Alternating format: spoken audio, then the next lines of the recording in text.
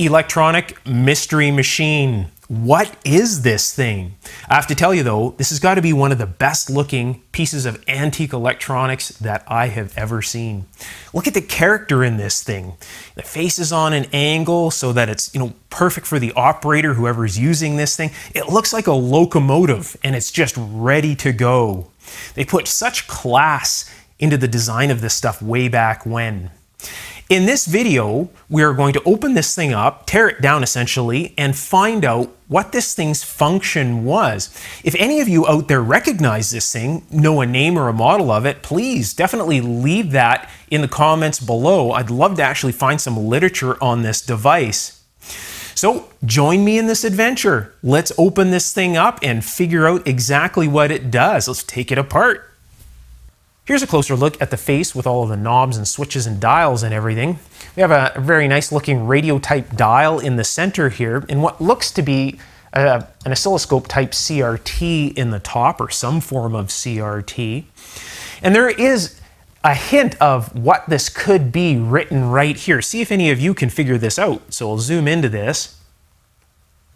So this is what I got out of this here. So possibly industries are maybe IES right here. And then right here, it looks like OPE, like scope, something scope.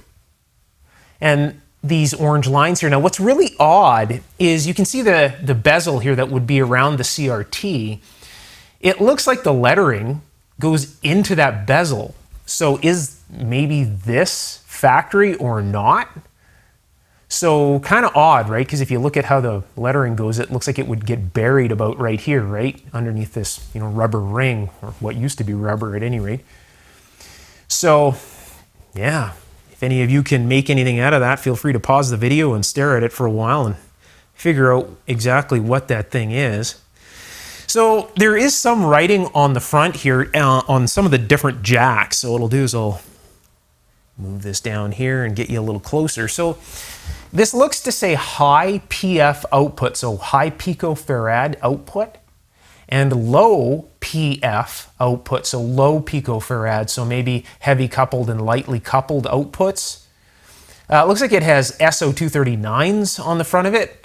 So I don't know whether those have been added. If you look on the other side, there's uh, some over there as well, right? And this one here has what looks to be a grounding plug stuck in one of them.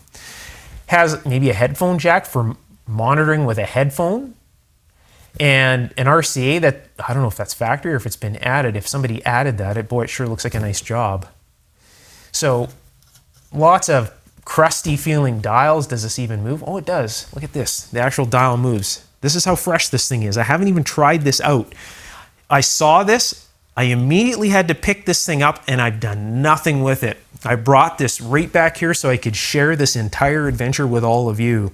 So kind of a neat device. This is just too neat not to share, right?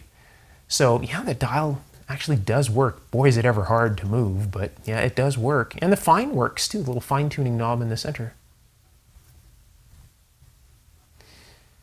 Very, very neat. So gear reduction tuning type mechanism there. There's not enough of much of the writing left. So the backstory on this thing is, this was found in a barn the person that I picked this up off of found this in a barn years and years and years ago. And when he got it, this thing was absolutely coated in owl crap, he said. So it was right in the top rafters. And he cleaned this up about, I think he said 20 years ago it was. And he thought this would be very neat garage art. So he brought this home, cleaned it up, and just stuck it on the top shelf of his garage in his shop. And it's been sitting there ever since. So a little bit of the dust and debris and all that stuff that you see on here is uh, probably all maybe from his shop or maybe it just wasn't cleaned thoroughly. Maybe he wanted to, you know, have that patina type of look on it. I, I really don't know. So that's the backstory on this and that's all I really know about it. So let's take a look at the knobs on the top here, see if we can see anything else. The knobs on the other side and let's go inside this and uh, see what's hiding inside. Here's a better look at the side profile of the unit. You can see the face on an angle here and how it kind of goes back. Again, it has this look like it's on the move almost. Very interesting design to this piece of equipment. Here's a better look at the knobs on the top of the device. As we can see, there's five knobs up here, but no lettering or anything left. Quite a thick coat of dirt on this as well. So that's solid, whatever that is. Oh. So some form of a multi-position switch. I wonder if that one is, oh it is too, but it's just extremely stiff. So multi-position switch, easy movement with that one and easy movement with that one there. There are more on the other side. Here's a view from the back side of the machine. So this is the row of knobs that we just looked at, and this is another row right here. Now, this one here does move, but very difficult to move. This one here is C solid. C solid, so maybe the weather side right here, who really knows. On the back, it looks like there is an access panel of some sort right here with some thumb screws.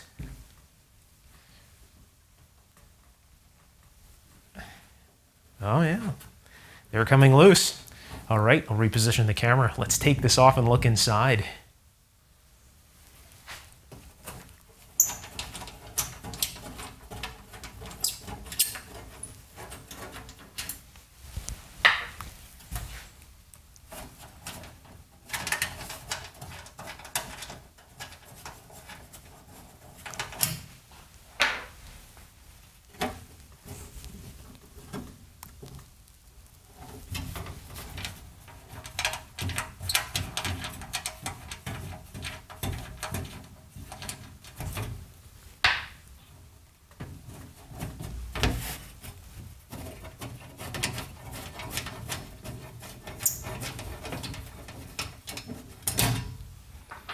Felt like a spring pushed on that.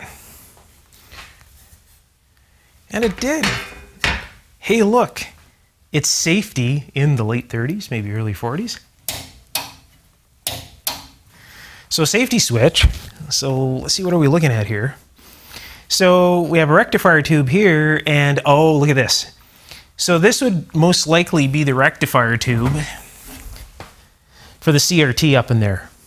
So what they've done is when you open the back up, this most likely cuts the power to the power transformer back here, which is actually kind of odd for back then. Usually they didn't do any of this. It was just way back when it was expected to know that, you know, you power the thing down before you service it. But you can really see what's going on. If you look back up in there, you can see more tubes up in there. So if somebody wanted to replace a tube, they'd probably end up reaching their hand in here and you can see what would happen if they made contact between these two areas, right?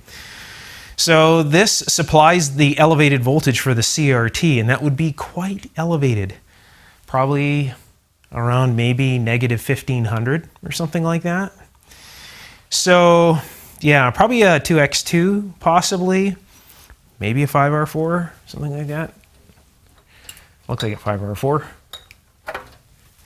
What is it here? Yeah, there it is.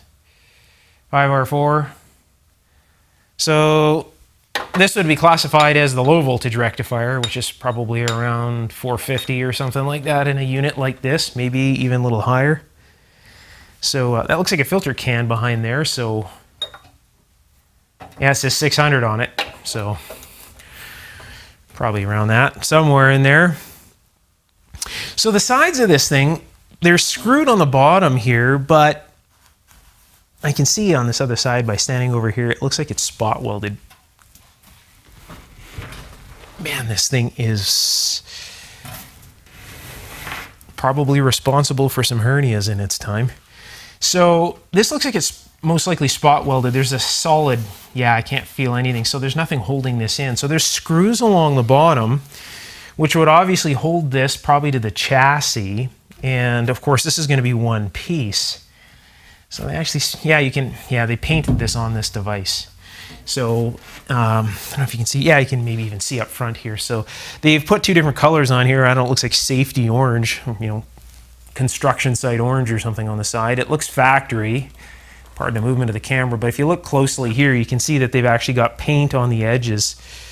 So they painted this a different color on this, and it all looks uniform too. So uh, in a restoration of this device, I don't know if I'd want to go with that color you know, it's just, I don't know, doesn't suit the device. I like the uh, the wrinkle coat look to it. You know, maybe the whole thing in wrinkle coat, or maybe the sides silver, or something like that. Hammer tone silver, and then this with a black wrinkle coat. Um, I don't know. I'll have to figure that out. You can leave your comments below because this is definitely going to receive a restoration.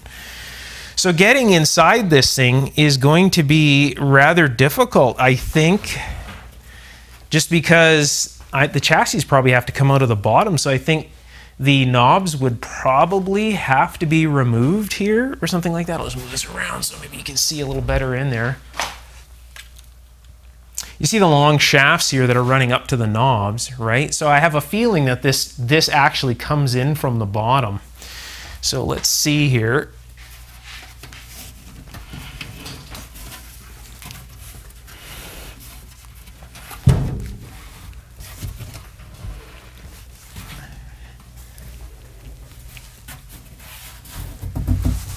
Did I mention this thing was heavy?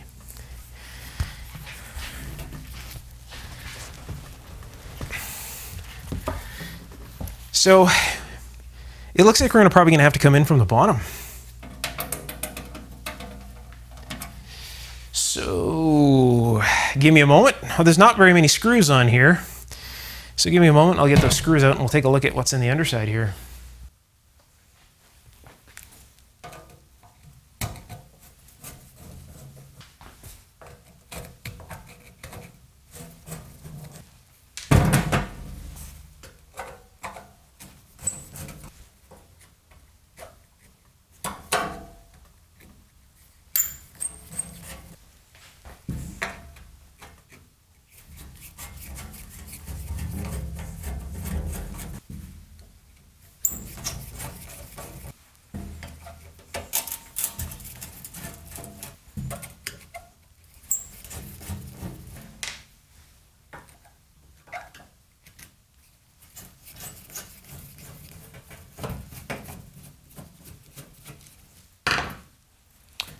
All right. What have we got? Whoa. There are some parts and pieces inside this. Look at this thing. It is packed.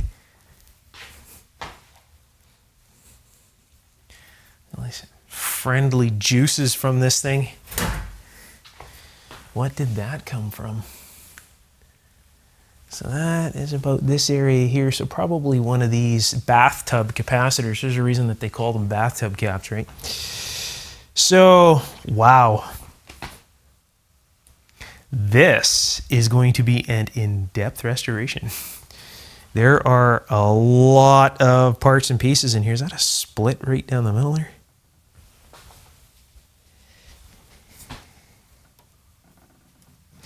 That would be a split down the center and possibly some goo leaking out unless it's just some odd cap with a little uh, button on the side of it. So lots of wax caps here. Hopefully you can see this as well as I can. I'll move you over and you can see all of the uh, wonderful parts and pieces in this. This transformer looks like it's probably oil filled. So it has the little seals and the little glass. You can see they've actually bonded glass in there. Very neat transformers. And uh, contrary to popular belief, those things almost never leak. Little glass balls here with the, uh, the uh, little connections coming out. So big filter cans in here. Look at the size of those caps. These are huge for back in the day. These things are monsters. So lots and lots of parts and pieces all over the place. Solar, mm, sealed tight to keep the leakage in. There we go, solar caps. It's quite a mixture. So this has been uh, worked on quite a bit throughout time. So we have a combination of a newer cap down here. It's all split And when we actually go and do the restoration on this, I'll pull these little parts and pieces out and uh, we'll chip them apart and take a look. This one here feels like it's uh, I could break pieces off it, so I don't want to interrupt any of this because uh, the restoration video will also be a, a, fun thing to do. So we'll experience all of that. So it's a mixture of more modern parts. We got old wax caps. We have what looks to be like dry electrolytics, bathtub style capacitors in here, uh, roundy style uh, resistors in here, you know, large old roundy style resistors, the large and the small. Ah, it has that nice aroma of transformer. Um, and possibly leaking fluids. Uh, let's see here. So we have uh, multi-position switches, one back here, one over here.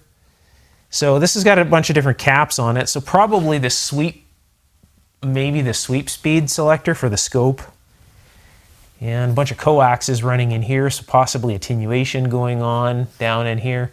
It'd be really neat to uh, actually find a schematic if it's even possible. Again, if any of you recognize this, definitely leave a comment below with a model number. Ooh, that resistor is just toast.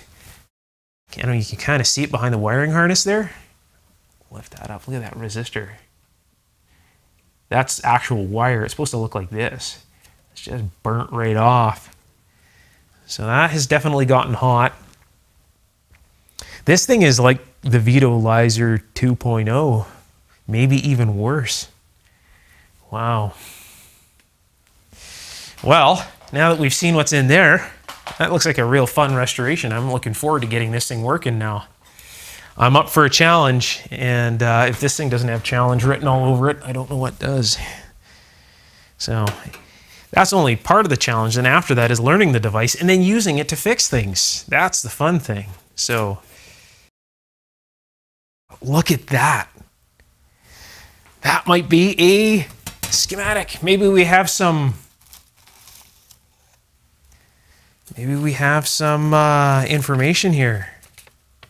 Well, looks like somebody's modified this. And maybe they've added this. Isn't that neat? Oh, and look at this. Somebody's been, uh, they've been uh, writing some stuff on here. Looks like they've been trying to work something out. Kind of interesting. So maybe this thing has had problems throughout time.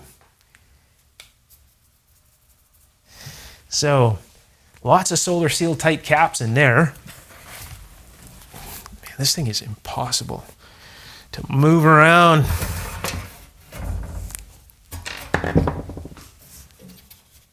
I like it when you find like documentation like this. Isn't that neat? Somebody actually spent the time way back when to draw that up. That's something I would have done. Okay, very new cap. Kind of dangling in the breeze. Well, it's, yeah, yeah, I'd say it's dangling in the breeze. And uh, some more uh, solar sealed tight capacitors here. All over the place in there. So I'm beginning to think like there's these here might actually be an original device in this. It kind of give me an idea of the date of this. So, and that almost looks like a saturable reactor. So maybe this thing does uh, an actual sweep alignment. Maybe it does something like that. Oh, that would be very neat if it did. You know, possible sweep alignment. So yeah, lots of transformers. A transformer here, possibly a choke up here or something. Another transformer, a choke there bunch of coils in here. So this is definitely a tuned device for something. And yeah, hopefully you can see all this. Get the light up a little closer there. So we got lots of bathtub caps. Not leaking anything. No, I'm not scared of what's inside them. Uh, let's see here. Got a bunch of wax caps that look like they're, uh, oh, this is kind of hanging in the breeze. Look at that resistor that probably went to there, eh? Right, something like that. I got a bunch of wax caps that look like they're just toast. So they've been hot. You can see they're hot on the ends, or either that or hot on the hot in the middle. It would be because there's still wax on the ends, and the the wax is come off of these. So all these wax caps are definitely shot. So this thing is, you know, definitely would not even fire up. I wouldn't want to fire it up. I would not want to damage that. Hopefully it isn't damaged now. Look at this thing. So, hey, restoring this thing rivals a Hallicrafters SX28, doesn't it? Any of you that have done that know exactly what I'm talking about. So, anyways, yeah, this looks like a lot of fun. And uh, I wonder how much I can condense this down. So on my end here, it's probably like a month's worth of restoration to condense down into what, half an hour video? An hour video, something like that? Wow. So let's take another look inside, take a look at the tubes. I'm going to have to actually, if I remove the screws on the side here, all right, it looks like what happens is these chassis drop out. You can see that they all have universal joints. So they all, they've all got universal joints here, right? See that? So everything is designed to be dropped out. And of course, you got wiring harnesses that are running, you know, from the front here. So all of this stuff has to be removed. Somewhat like the Vedolyzer, this really looks like the, like the way that they would have designed a Supreme device way back when. So it, it really echoes Supreme like the Vedolyzer. But in order to get this thing out, uh, these chassis, you can see this chassis is fastened here. It actually fastens right here to this chassis. And then this is fastened what looks to be to the front somehow, maybe by the screws or something on the front. So all of the wiring, get this, service this thing, all of the wiring and you know, the shafts all have to be undone. Wires have to be desoldered to get these actual chassis out of here. So, because in order to get this down, right, you know, like this is all on top of it. So this all has to be all has to be undone in order to get all of this out. Restoration nightmare. So uh, yeah, it should be a lot of fun. But it's it's so neat and it looks so good that it's definitely going to get it. So uh, this here would probably be a very in-depth restoration. So all of you that uh, that are uh, into longer restorations, this is uh, definitely going to be one of those videos.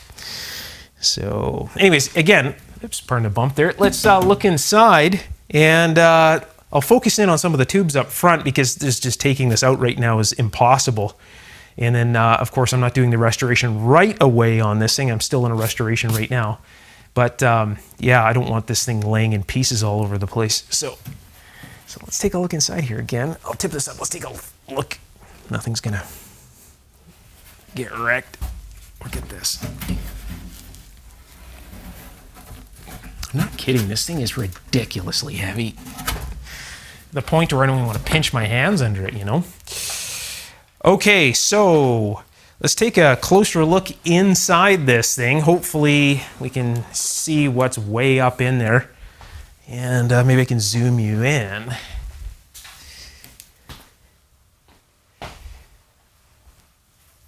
So you definitely got lots more tubes. You have some metal tubes up there. So we have some metal tubes here.